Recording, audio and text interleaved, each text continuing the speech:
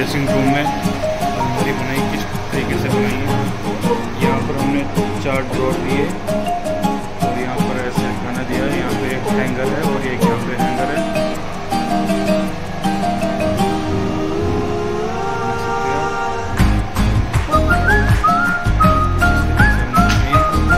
यहाँ पर हमने ओपन सेल्फ रखी है।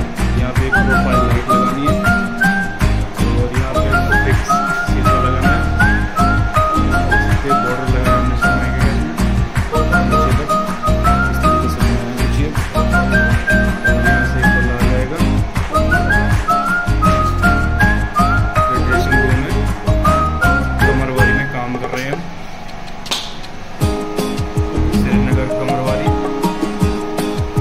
यहाँ पर हमने प्रोफ़ाइल लाइट दी है ये।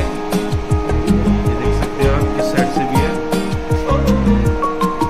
और यहाँ से भी दी है हमने लाइट ये देख सकते हैं।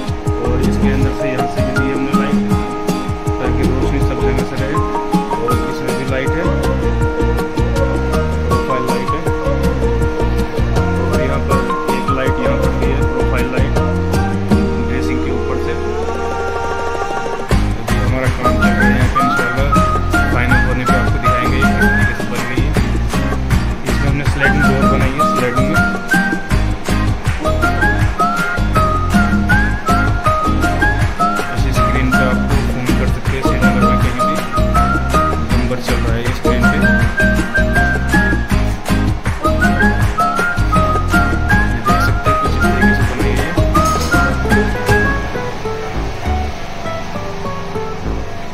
बाथरूम में हमने कुछ इस तरीके से बनाया है। दो ड्रॉर यहाँ पे दिए, एक ओपन शेल्फ है ये, उठा भी सकते हैं इसको।